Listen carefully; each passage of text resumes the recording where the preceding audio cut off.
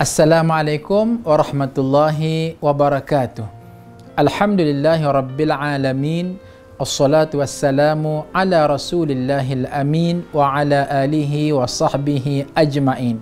Sahabat-sahabat sekalian, insya-Allah Ustaz akan meneruskan perbincangan J2J pada hari ini dengan melanjutkan perbincangan motivasi now melalui buku yang ada di hadapan Ustaz.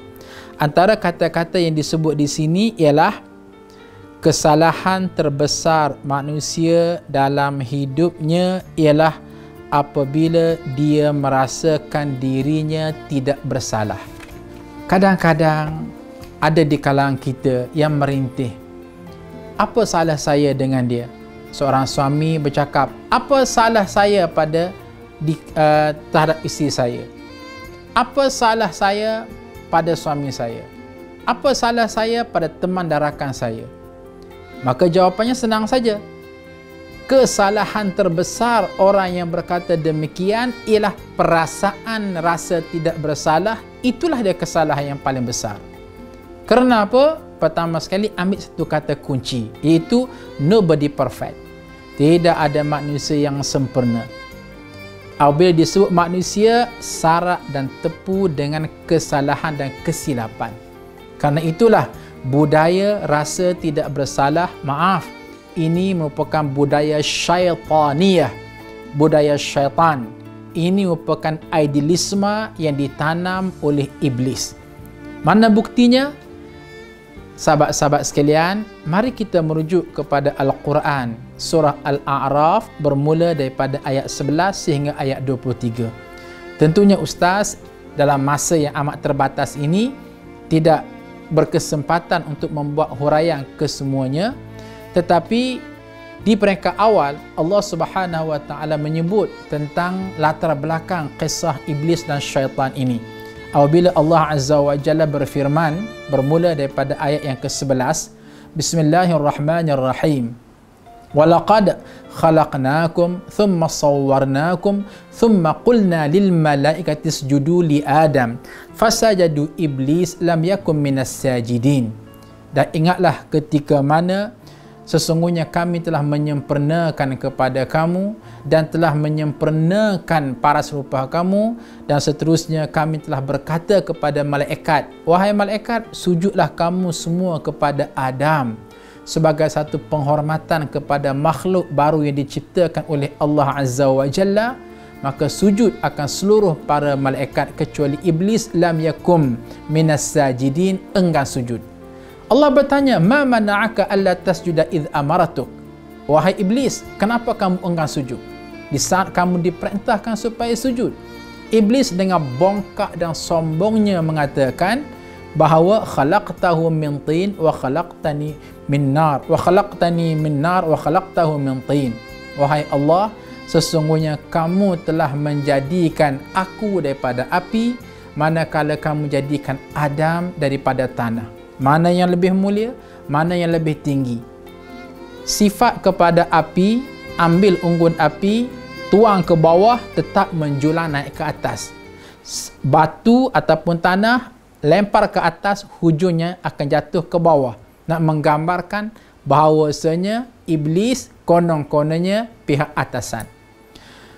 Allah Subhanahu wa taala murka kepada iblis sehingga Allah menyebut qala fahbit minha fama yakunu laka an tatakabbara fiha fakhruj fa innaka minas saghirin Allah berkata nah kalau begitu sila berambus kamu keluar daripada syurga dan kamu seorang yang sangat takabur maka keluarlah kamu daripada syurga nyah pergi ke muka bumi dan jadilah kamu sebagai hamba yang hina lina qala anzirni ila yaumi yub'asun sehinggalah iblis akhirnya berdoa minta dilanjutkan usia sehingga hari kiamat. Apa yang Ustaz ingin sebut di sini ialah kalaulah ditakdirkan mana-mana manusia yang berada dan menjadi iblis logik akal pasti orang itu akan berkata wahai Allah kami mohon maaf kami bersalah, kami bongkak, kami sombong, kami tak nak keluar daripada syurga. Okey, kami rela sujud kepada Adam. Ini logik akal kita. Bila bersemuka dengan Allah yang maha sempurna, kita akan mengaku ke kesalahan kita. Tapi tidak pada iblis enggan. Tidak pernah mengaku salah. Biarpun Allah Subhanahu Wa Taala kata, "Nah, keluar kamu daripada syurga." Iblis tetap mengatakan, "Okey, kami rela keluar daripada syurga daripada kami sujud kepada Adam dan ketika mana kami keluar daripada syurga kami rasa kami tidak bersalah inilah dia bahayanya sahabat-sahabat sekalian. Jom tu jannah rumah tangga yang ingin bahagia. Jangan ada sentimen pada diri suami diri isteri diri anak-anak bahkan dalam konteks yang lebih luas pada pemimpin terhadap rakyatnya, rakyat pada pemimpinnya, jangan masing-masing ada sekelumit budaya rasa tidak bersalah kerana itulah kesalahan yang paling besar. Dan selalunya orang yang ada sentimen rasa tidak bersalah kerana bongkak dan sombong. Itulah yang berlaku kepada iblis.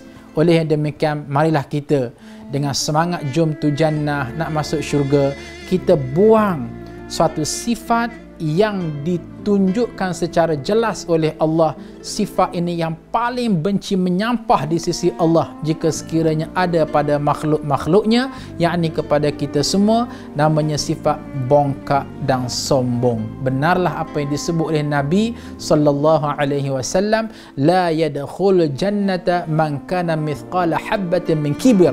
Tidak akan masuk syurga barang sesiapa yang ada dalam hatinya sifat bongkak dan sombong biarpun sekelumit bawang kulit nipis sekalipun. Sekian terima kasih. Assalamualaikum warahmatullahi wabarakatuh.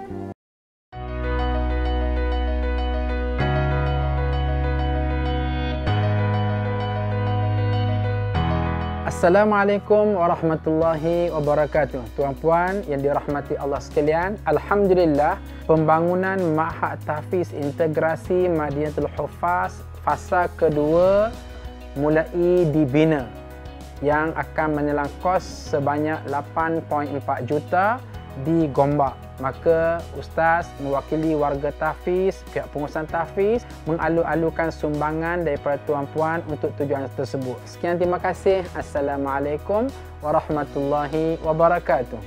Ustazah mengalu-alukan ya tuan-puan untuk sebarang bentuk sumbangan, doa ya dan juga sokongan, motivasi, semangat semualah untuk kami dan uh, terima kasih semua يا جزاك الله خيرا كثيرا.